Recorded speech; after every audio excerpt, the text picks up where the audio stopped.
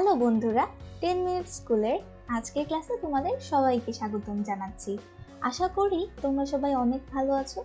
আজকের ক্লাসে আমরা ইউনিট টোয়েন্টি ফাইভের why does the frog pro মানে ব্যাংটা কেন ঘ্যাঙ্গর ঘ্যাঙ্গর করে ডাকে? এই গল্পের উপর কিছু প্রশ্নের উত্তর এক্সারসাইজ করব। তো চলো আমরা আমাদের ক্লাসটা শুরু করি। প্রথমেই আমরা লেসন সেভেন এইটের সেকশন বি এর কিছু প্রশ্নের উত্তর জেনে নেব। প্রথম প্রশ্নটা দেখো।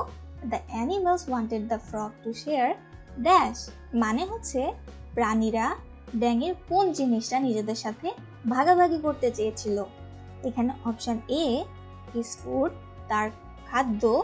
অপশন বি হিজ হোম তার বাসা। অপশন সি হিজ মানি তার টাকা। এবং অপশন ডি হিজ ভয়েস তার কণ্ঠ। তাহলে আমরা কিন্তু গল্প থেকে জেনেছি যে প্রাণীরা যারা ছিল, তারা কিন্তু ব্লাস্টারের ভয়েস চুরি করতে চাইতো। তাহলে আমরা বলতে পারি, এখানে অ্যান্সার হবে অপশন বি হিজ ভয়েস এরপরের কোশ্চেনটা দেখো the animals make to make a plan to dash মানে প্রাণীরা কোন জিনিসটা নেওয়ার জন্য পরিকল্পনা করেছিল?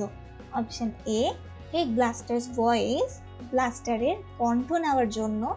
Option B teach the birds to sing পাখিদেরকে গান শেখানোর জন্য। Option C have a party for Blaster ব্লাস্টারের জন্য একটি পার্টির আয়োজন করার জন্য। এবং option D get food for the birds পাখিদের জন্য খাবার নেওয়ার জন্য।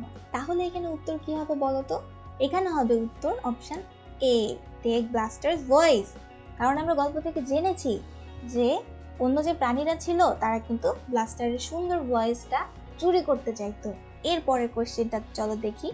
The jar broke because dash মানে পাত্রটা বা জারটা ভেঙে গিয়েছিল, কারণ option A it was not a good jar এটা একটা ভালো জার বা পাত্র ছিল না। Option B the animals were careful প্রাণীগুলো সতর্ক ছিল না।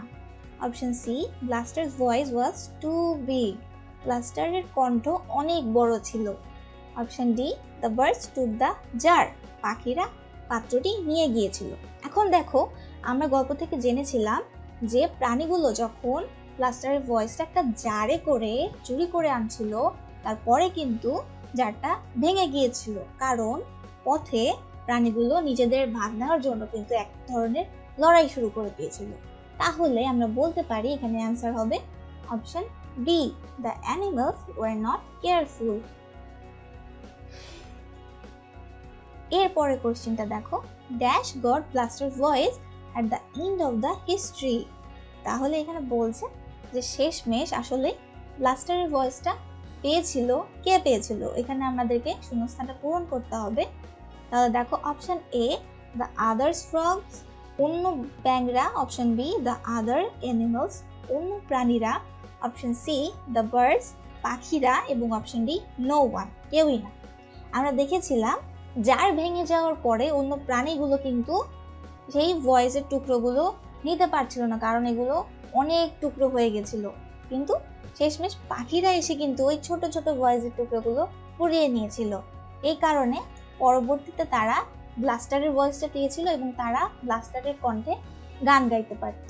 তাহলে এখানে অ্যান্সার হবে কি? এখানে অ্যান্সার হবে অপশন সি দ্য বার্ড এখন চলো আমরা লেসন সেভেন এইটের সেকশন সি এর কিছু প্রশ্নের উত্তর জেনে নেই প্রথমে দেখো, এখানে জিজ্ঞেস করছে how do you feel about Blaster Blaster সম্বন্ধে তুমি কি অনুভব করো?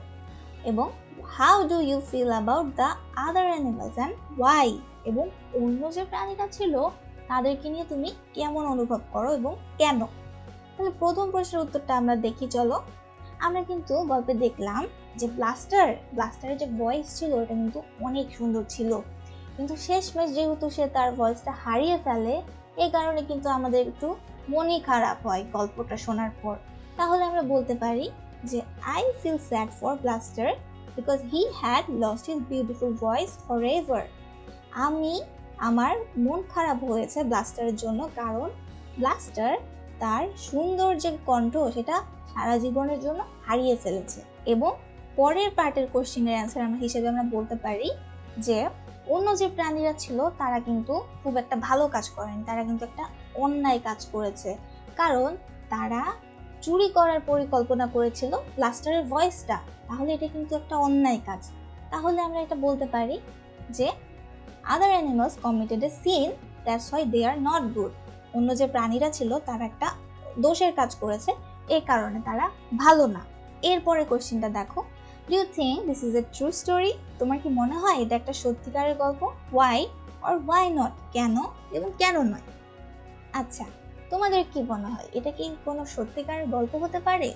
সত্যিকারের জীবনে কি এরকম হয় যে কেউ কারও কণ্ঠ চুরি করে নিচ্ছে?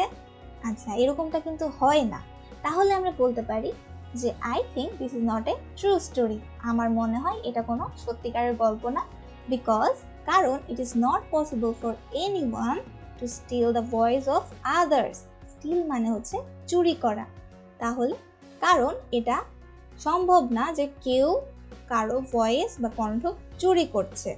তাহলে আজকের ক্লাসে আমরা কি দেখলাম? আজকের ক্লাসে আমরা why does the frog pro এই গল্পের কিছু প্রশ্নের উত্তর আমরা জেনে নিয়েছি। তো এই পর্যন্তই ছিল আজকে আমাদের ক্লাস তোমরা সবাই অনেক ভালো থেকো। ধন্যবাদ।